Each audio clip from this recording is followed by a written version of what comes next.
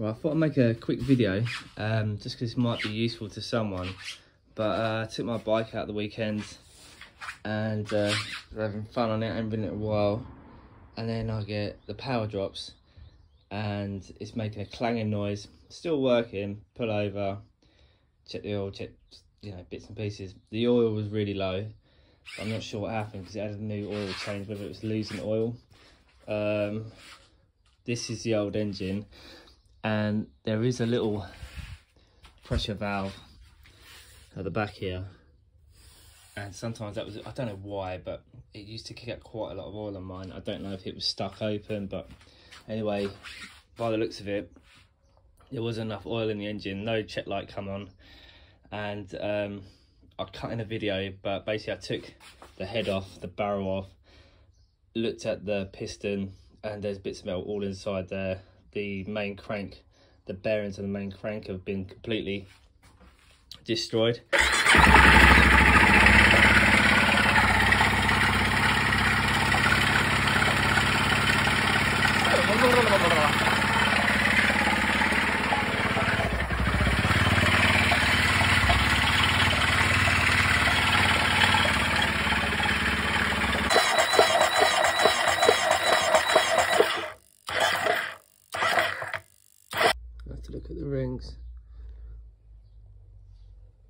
Pretty tight actually. There's the head.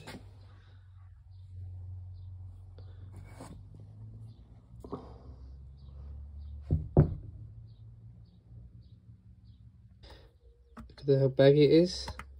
And I think there's bearings in. If you look between, there's bearings there. And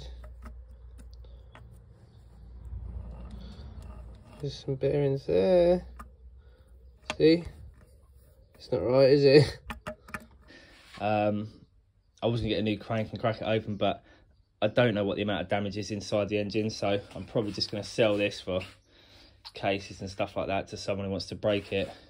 So I ended up buying another engine to replace it. Um, just think it's more financially viable to spend a little bit of money on this than to try and fix this and not know if there's more damage in there.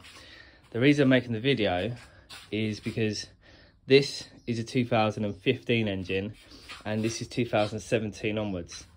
2015 has a oxygen sensor in the side and the later models don't because they relocated it to the exhaust. I have actually got an exhaust attachment where I can put the oxygen sensor to it. This is a connector to it. From what I can see, it's just one single wire so what I'm hoping to do is just extend this wire to the side of the exhaust and I'm hoping with the same ECU this engine will work. The engine codes are the same but the only difference is that I can see is the fact they relocated this I think for emissions. So I thought I'd make this video just to show how it goes if anyone else's engine is blown up I can find an older engine. I could find a newer engine, but not an older engine. Um, and these have roughly got the same mileage on them as well.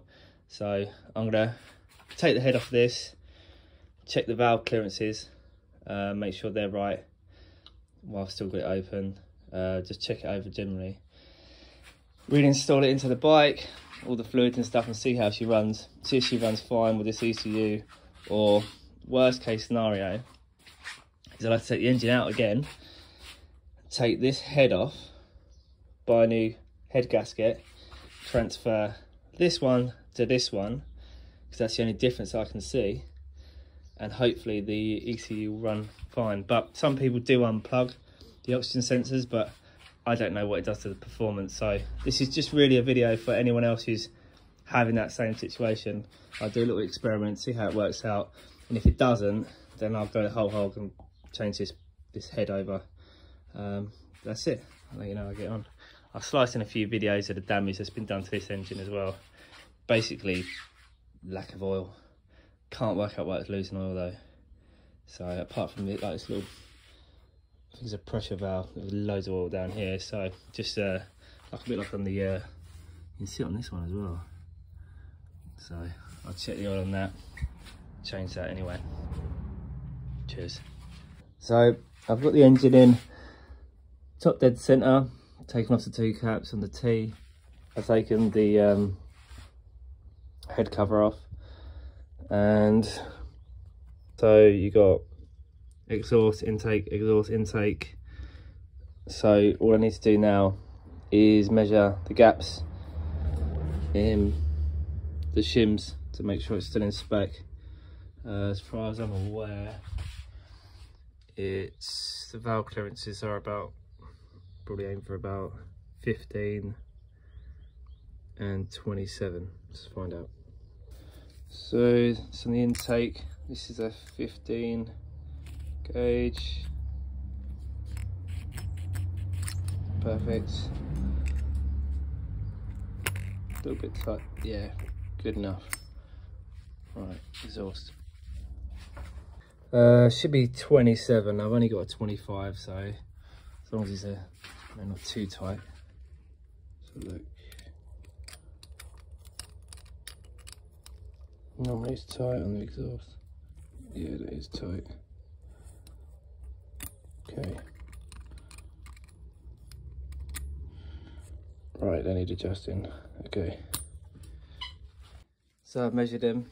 The gap's only 0.20 on both of these. So my target is uh, 0.27 so I'll measure both the shims. Obviously these be smaller shims. Uh, see if I got the shims today to do it. If not um, I'll put the engine in and I can do it while it's still sat in the bike. And I'll show you how to do that. It's really easy. So all you want to do is remove this little bolt here this little got a washer behind it. And there's a little pin in there. Focus. You take that out.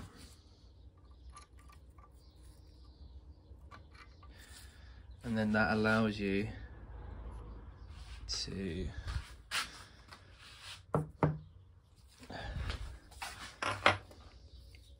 allows you to move this rocker arm back. Take these shims out measure them and then change them it's going to take the shims out of a magnet. In there.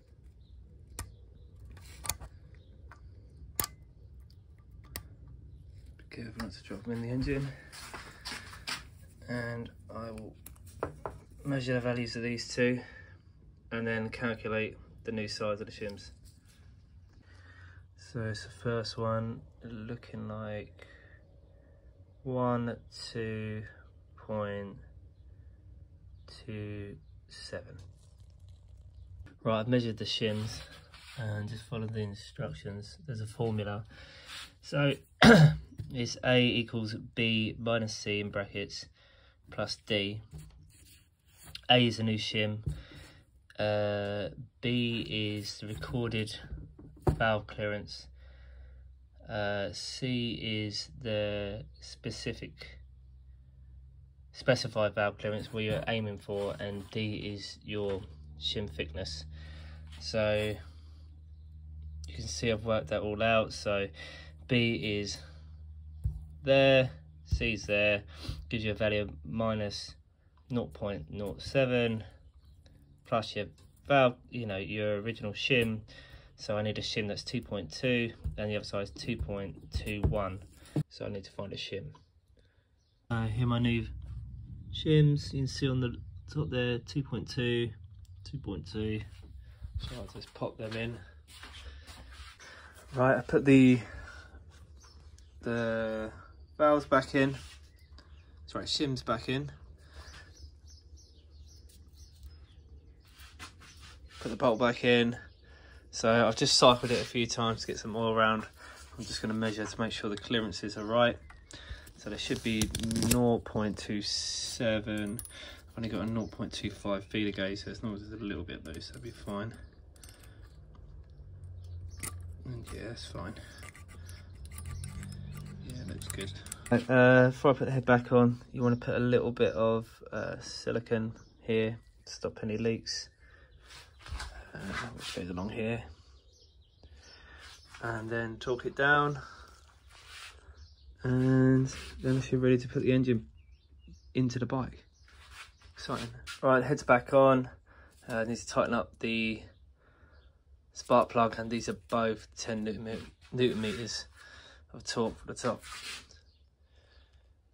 Right, next task is to get that into here and I'll get someone to help me. You've only got these four bolts, take them out, put the engine in this way, uh, locating the throttle body is a bit, bit of a pain. Uh, yeah, get it in. I'll probably put some copper slip on these to stop them from corroding. Torque it up and then connect all of these wires back up and then fire up and see if she goes. Engine's in. Uh, just basically did it my own, lifted it in, use this to prop it up, line up the bolts, one, two, three, four. Just gonna torque them up uh, and then start connecting all the wires up, fire up.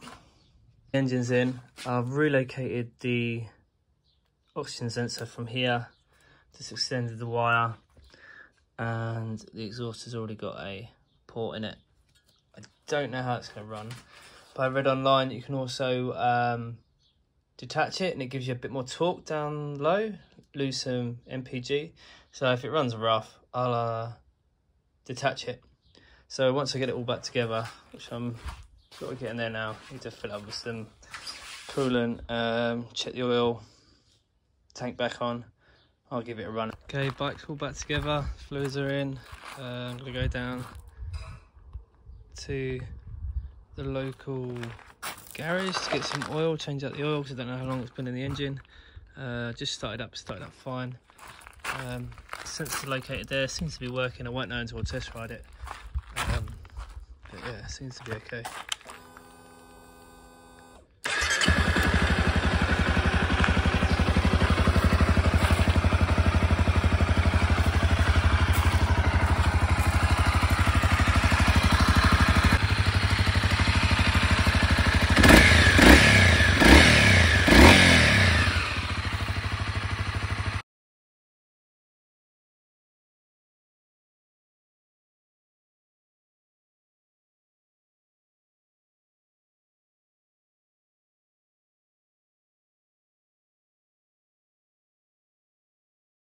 Thank